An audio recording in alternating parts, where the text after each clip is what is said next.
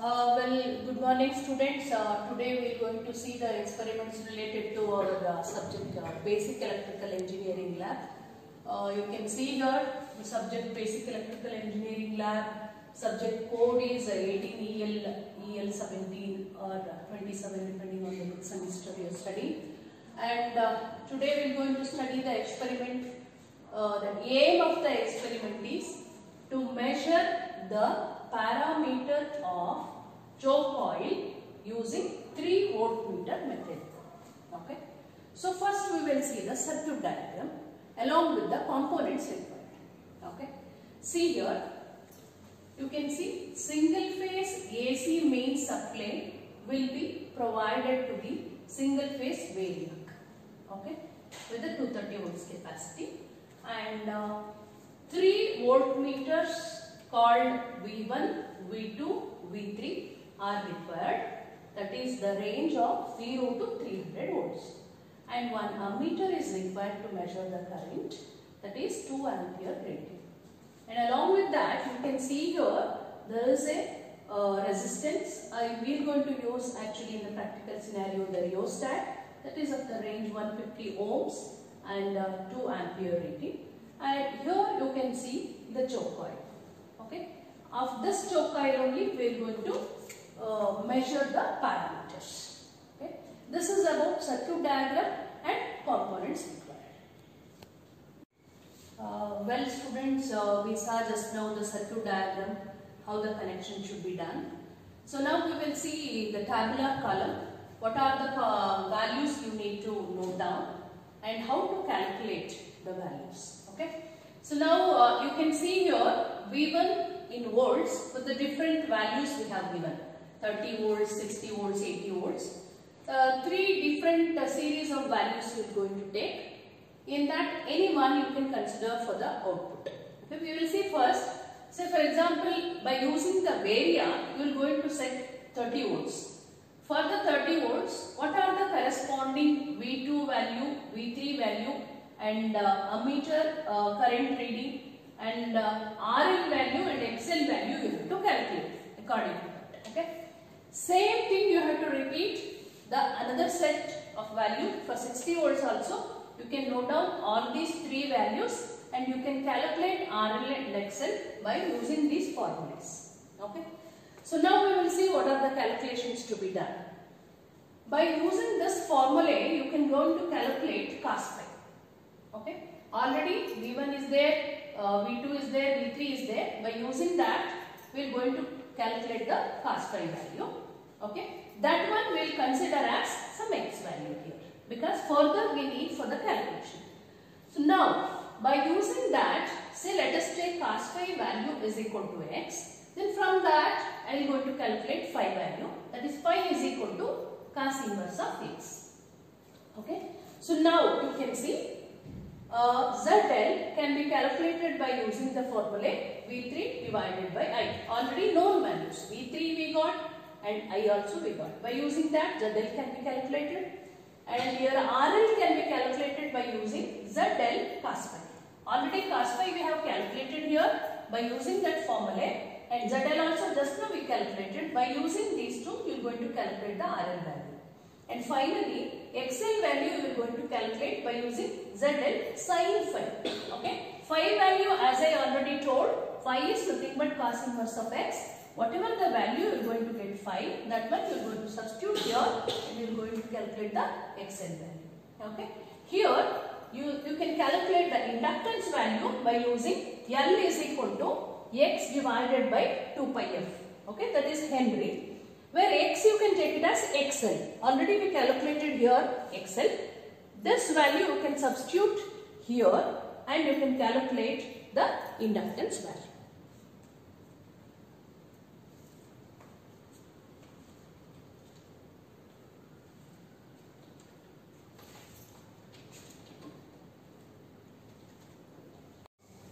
Uh, well students, We'll continue with the connection of the circuit uh, what I have shown in the morning on the whiteboard. Okay. Uh, with the aim to measure the parameters of the choke coil using uh, 3 voltmeter method. I think these are all the components required I already told in the morning and this is what the circuit diagram. Are you able to see here? Okay. Okay, fine. Let me tell something about choke coil, okay? It is uh, very highly inductive in nature and which is uh, used in the applications uh, where high voltage surge is needed for a short duration of time. Uh, actually, it is uh, generally used in the tube light circuit to give high voltage surge during starting and to maintain the steady voltage during the operation. Okay, that is about uh, choke coil. Okay, now uh, we will see exactly the connection of the circuit. Okay, uh, let me start from the main component of this is uh, the variac. Are you able to see here, students? Yeah. Uh, this will give you the range 0 to 260 volts. I think you are able to see here. By using this knob, we can set it how many volts you want. That much you can set. Okay. Fine. So here two knobs will be there positive and negative or else red one and black one will consider for the convenience. Okay. And here the different components whatever we are used is uh, there are three voltmeters V1, V2 and V3. Okay. This V1 will be connected across the variac. You are able to see here in the diagram also how parallelly it is connected. This V1 will going to connect across the variac and V2, this is what V2, this one we are going to connect across the rheostat, okay, and this is what V3 we are going to connect across the choke coil, okay, and come to the ammeter. Are you able to see here in series there is a ammeter of 2 amps, this is what the ammeter. So these are all the components required for the experiment to conduct. Okay, now let me start with the connection.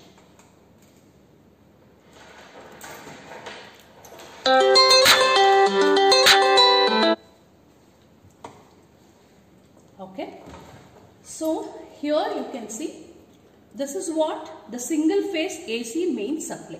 From here I am going to get the supply for this variac or variable transformer you can see Okay, so from here let me start the connection. You can see here this red tap is there no? That one you can connect it to red terminal of this okay?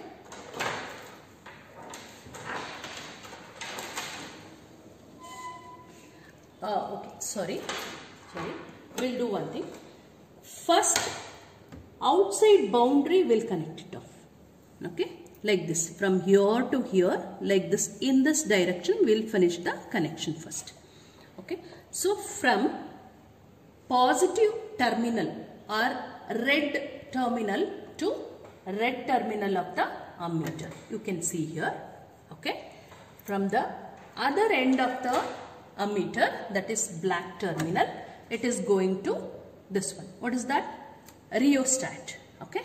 So for our uh, convenience we have already connected wires here. Connected the wires and kept here for our convenience. You can see here you are able to see. Okay? First we will do this. The other end of the ammeter is connected to the rheostat one end. I think you are able to see here. Okay? Through this. Next the other end of the rheostat is there no? This is what? The other end of the rheostat. That one we'll going to connect to the choke coil. This is what the choke coil?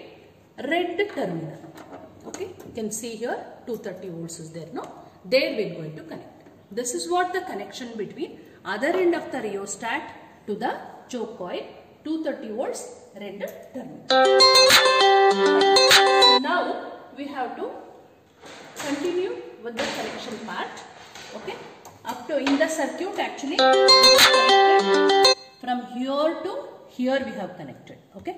So now from the choke coil other end we are going to connect it to the variac black terminal again okay so for that we will connect from the choke coil you are able to see here 0 it has written no black terminal from that we are going to connect I am going to use one more wire to increase the length.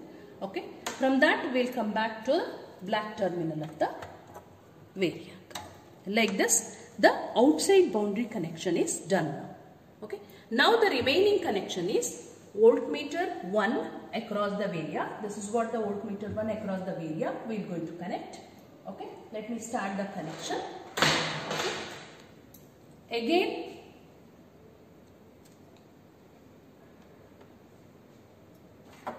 Again you can see this is what the connection we will going to do now. This V1 is connected parallelly across the variac. No? Okay, positive of the V1 or else we can say red terminal of the V1. This is what red terminal of the V1 I am giving to the variac red terminal. This is what red terminal you are able to see. Okay, next take one more wire and connect black terminal of the voltmeter to the variac black terminal. Okay. This is what parallel connection done. Now V2 supposed to connect across the rheostat. That is nothing but this one. Okay. Again we will do the same thing. V2 red terminal we can connect it to this is already connected no wire yeah this wire only let me use okay? Rheostat one terminal is connected to red terminal of the V2 this is what we have done. Okay? Other terminal of the rheostat to be connected to black terminal of the V2 this is what shows parallel connection of your rheostat as well as V2 okay? Fine. So now we'll continue with this V3 already we have shown V3 is in parallel with the choke coil we will make a connection now okay so V3 again same thing will continue red terminal to the red terminal of the choke coil okay then again black terminal to the black terminal of the choke. Okay. So this is what the complete circuit connection. If you want, again you can observe. This is what the complete circuit connection. Okay students. I hope you got the connection. Once the connection is completed, we have to turn on the AC main. Okay, AC supply should be given to the circuit. Here it is possible to turn on the AC mains. Okay, like this. Now the power is given. Now first step what we supposed to do once the power is given. This V1 is as shown in the circuit diagram. This V1 is used to measure the variac voltage. Whatever it is available, we can measure through this. Now, as I have set it to 0, you are able to see here, this knob is placed towards 0. This is showing 0 voltage because V1 is across the variac, it is showing 0 voltage. But for our experiment, as I already told in the morning, we are going to take three different readings of 30 volts, 60 volts and 90 volts as uh, we already explained in the morning session and also you can see here. Okay fine. So now let us continue with the first set of reading that is let me adjust it vary up to 30 volts. Okay. You can read that value across the voltmeter 1 that is what we are seeing here. It is varying now. We will adjust it to 30 volts okay? Almost yeah. It is almost 30 volts now. Okay? So now we have set it to 30 volts for 30 volts what is the corresponding v2 and v3 value as well as a meter reading we have to mark it. As we already told in the tabular column in the morning session you can see here your uh, ammeter reading you can measure like 0.154 amps it is showing and your V2 it is showing 22 volts and your V3 it is showing uh, 50 volts okay? You can tabulate all the readings in the tabular column fine. Once the tabulation is done you can go ahead with the calculations. That's what uh, we have explained already how to do the calculations. Now also we are able to uh, show, say for example, for 30 volts, if the V2 is showing 22 volts and V3 is showing 15 volts and your ammeter uh, value it is 0.154 amps, you have to note down like this in the tablet and then you have to use that in this formula to calculate the cos phi. Okay. Cos phi can be calculated by taking all these values and we are going to obtain and we'll call it as x value. And already I told in the morning actually x value can be taken further for the continuous process of uh, calculating the phi value. So cos phi is equal to some x value we got. From that we are going to get phi is equal to cos inverse of x. Okay. Once this is done, our aim is actually to calculate the or to measure the parameters of choke coil, right? Okay. So choke coil parameters mainly are nothing but your impedance as well as your uh, what resistance. Okay. You can see here uh, ZL can be calculated by using this formula V3 by I and RL can be calculated ZL cos phi and XL can be calculated using ZL sin phi. Okay, here by using this phi value you can find out this XL as well as RL. Okay, mainly the inductance value of the choke coil can be calculated by using this formula. Okay, already you, you, you might have calculated this XL value here. Okay, that same value you can substitute here and you are going to find out with the frequency of 50 Hertz if you apply here we are going to calculate the inductance value. Okay, this is one set of calculating. Once you calculated RL and XL you can tabulate here in terms of ohms. That is for one set of experiment. Okay. Same thing we are going to repeat for 60 volts also and for 90 volts also. Okay. Same experiment, same connection will be there. Only you have to vary the variac voltage, you have to adjust it to 60 volts. Okay. Then again 90 volts. Like that you can continue. Okay.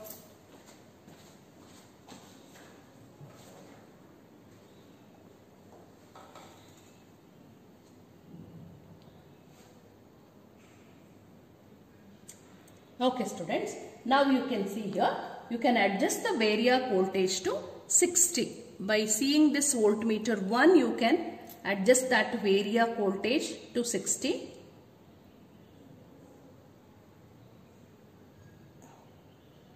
Yeah, now it is 60 volts. You are observing here there is a variation in the current uh, meter also and here in the voltmeter voltage V2 also varied and V3 also vary. Now again our job is to tabulate all these values in a tabular column again and do the repetition of the calculation. We are going to find out again the RL and XL value or inductance and resistance of the coil we are going to find out. So finally we can take any value uh, either 30 volts set what is the output voltage you have got for uh, what inductance or resistance value what you got that one you can tabulate as a result. RL's 60 volts what is the set of value you got that one also you can uh, depict there in the output. RL's for 90 volts what is the value you got you can depict okay. So the, in this way you can find out the parameters of the choke coil okay. This is what uh, the experiment about. Thank you.